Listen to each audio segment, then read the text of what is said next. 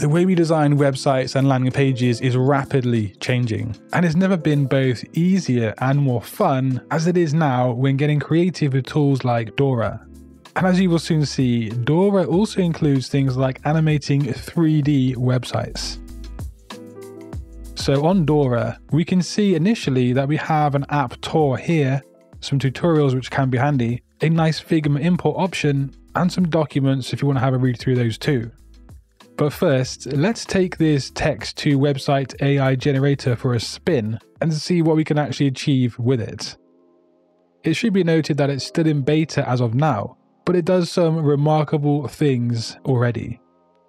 Now you can be heavily descriptive here, or as I'm doing right now, just give a few pointers to the AI to use. Now it might take a little while to compute, but soon enough this window opens up and this is where you can expand on your prompt and even enter styles for the website. But let's go ahead and generate four potential sites for us to start working with. And again, it might take a few moments to render in, but after all, this AI is essentially creating four different websites for us, which is pretty neat.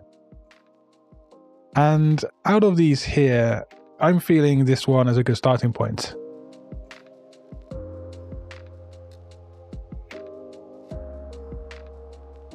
And intuitively you can check out a tutorial here, but let's move on to the actual editing.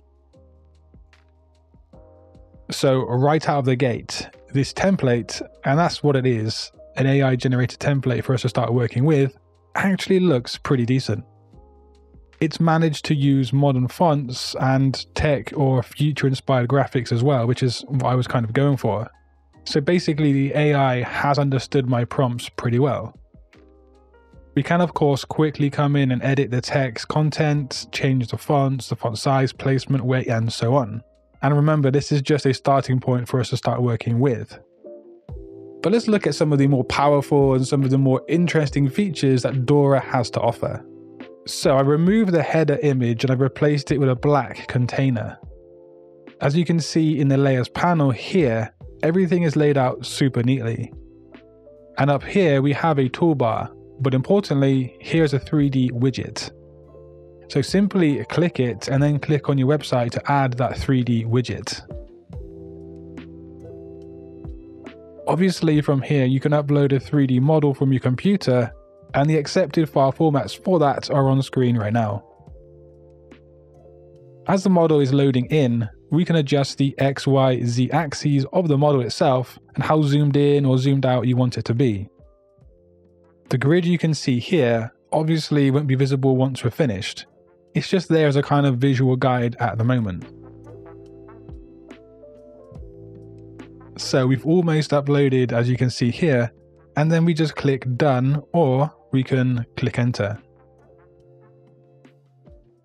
Now we can always come back into the layers panel and make some edits to the 3D object and we can actually still move it and edit it from the widget box as well, adjusting its placement and size. And sure, having quick access to the 3D models is pretty cool to have on a website. But what about animating them? What about adding animations to those 3D objects? Dora actually makes it really simple. So we're going to look at two different ways we can animate 3D objects. But with both ways, you need to click the keyframe panel up here. And once you've done that, a timeline appears below. With this now activated, we need to select the correct layer. And in this instance, it's the Cyberpunk model that I downloaded for free. We're going to mess around with the playhead later, but first if you come over here, we can adjust the rotation and the position and also the scale. But some models will actually have preset animations that you can activate and as I said, I downloaded my models from a third party site for free. But as you can see, that's looking pretty cool. All you have to do now is click done and then scroll over to the play icon to preview the animation of your website. Considering this was made in just a few seconds, it's pretty cool I think you have to admit. But there is another way to animate your 3D objects on your Dora website. On my model 3D layer, we can add a keyframe in the timeline down here, And then as we drag it, notice the blue line move up and down here on the screen. This is the scroll function which we're going to see later. Now moving my keyframe to 40, we then come to the position section here. And this is where we can do things like adjust the rotation, and I always seem to get the X and Y axes mixed up for some reason.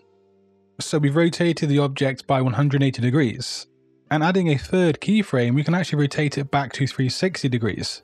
And in theory, we should have a 3D model that rotates around as we scroll down. But of course, to properly test it, let's click that play button and test it out on screen.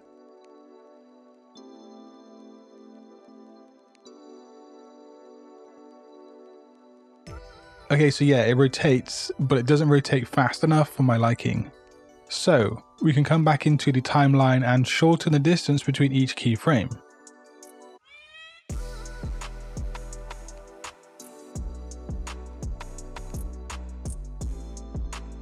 And there, with just a few clicks, we've added a custom animation to our 3D model really quickly. But of course, when you make a website, you want other people to see it too, and Dora helps us publish our sites really easily with the publish function found here. We can set up a domain or add a custom domain name. Obviously, with a custom domain, you should have purchased one from a third party source. Also, it's worth mentioning that your site with Dora is really versatile and it functions at different scales as you can see here with me resizing the UI window.